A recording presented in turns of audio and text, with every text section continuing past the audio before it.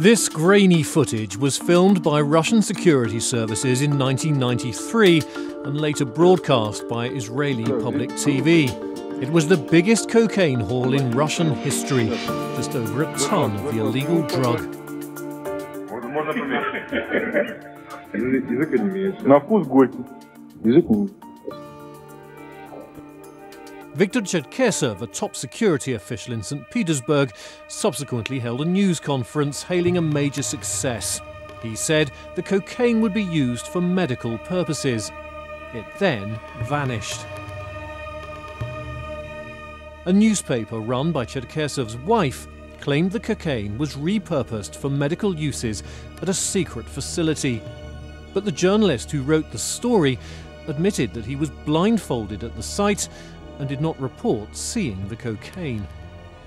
Cherkesov was close to Vladimir Putin, who at that time was head of St. Petersburg's External Relations Committee. They had served in the KGB together, and when Putin became head of its successor organization, the FSB, in 1998, he made Cherkesov his deputy. In a 1996 documentary, Putin acknowledged their close ties when he was asked to second guess how Cherkesov might answer a question. Предположить, как ответил генерал Черкесов, с которым у меня очень хорошие личные отношения, это значит дать ему характеристику. Mm. А мне бы не хотелось давать характеристику э, людям, с которыми я знаком, у которых есть определенные положения – the mystery of the missing cocaine has since been the subject of several journalistic investigations and much speculation. In 2015, a KGB defector said Putin had been involved in drug smuggling. He told the British inquiry into the death of former FSB officer Alexander Litvinenko, poisoned with polonium in London in 2006, that Litvinenko had had evidence of Putin's involvement. This has never been proven, but an investigation by RFERL has shone new light on these shadowy events from the early years of Putin's rise to power. As you know, 92, 91, 92, the Russia was a, uh, have a big problem. There was a lot of corruptions and there was a lot of problem in Russia and that was more easy to corrupt the customs and uh, This is Shemtov Mikhtavi, who served six years in an Israeli prison for helping to smuggle the seized cocaine shipment. He was part of an Israeli gang and has written a book about it.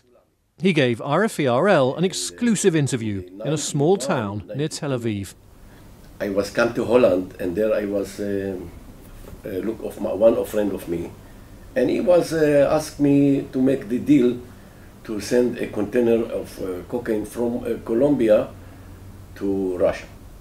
Uh, I was supposed to get something like four or five million dollars. Mikhtavi says he carried the paperwork for the cocaine delivery. The drugs were hidden in tins of corned beef, allegedly ordered by the mayor's office in St. Petersburg. It's never been proven that the mayor of the city, Anatoly Sobchak, or his deputy, Putin, knew what was really in the consignment. But Mikhtavi says he believes Sobchak did know. I uh, not have evidence for that, but uh, Anatoly Sobchak he was no. He should get some money for that. To tell you 100% and that, that I cannot for sure, but as you can see, the address it was to the san sanitary uh, office of the mayors of St. Petersburg. The, this is, was the address uh, where official address in those papers yes. uh, where container should have been arrived. Of course, yes? if you if the police uh, of uh, St. Petersburg in Russia have now that file, you can take the books, you can see the papers, and you can see the delivery address Previously unreleased Israeli police files mention another suspect, Oskar Donat, a prominent businessman in St. Petersburg who was arrested but later released due to a lack of evidence. The cocaine was reportedly destined for Donat's private customs terminal, which was registered by the St. Petersburg External Affairs Department shortly after Putin became its chief. The files also cite a St. Petersburg driver, Vasily Dijenka, who was hired by one of Mikhtavi's accomplices.